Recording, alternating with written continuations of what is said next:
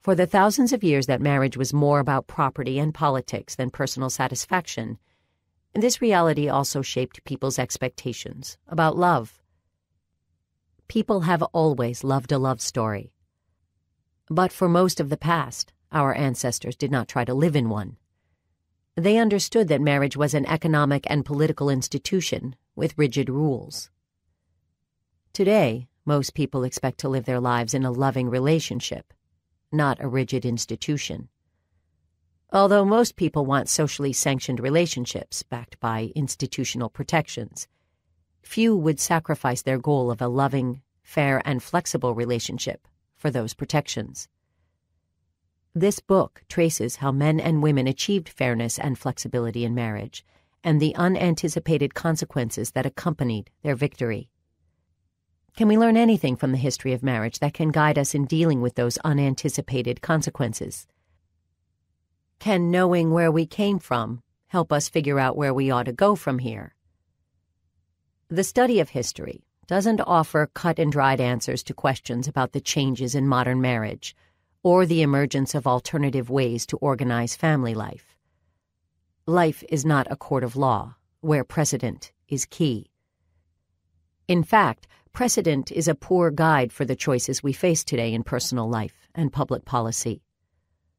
Throughout most of history, a key function of marriage was to produce children and organize inheritance rights. Marriages were often nullified if a couple did not produce a child. But in our modern world, no one suggests that couples who don't have children should not have access to the legal benefits of marriage. If we can learn anything from the past, it is how few precedents are now relevant in the changed marital landscape in which we operate today. For thousands of years, people had little choice about whether and whom to marry, and almost no choice in whether or not to have children. Kin, neighbors, and custom exerted far more control over people's choices and behaviors than is possible today.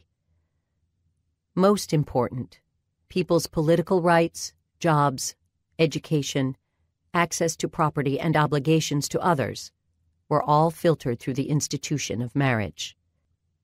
Today, we are entering uncharted territory, and there is still no definitive guide to the new marital landscape.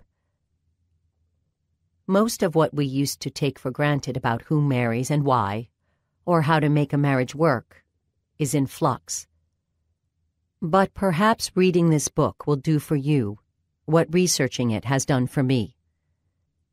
Help you understand how we got where we are today, how our choices have changed, what old options have fallen away, and what new ones have opened up.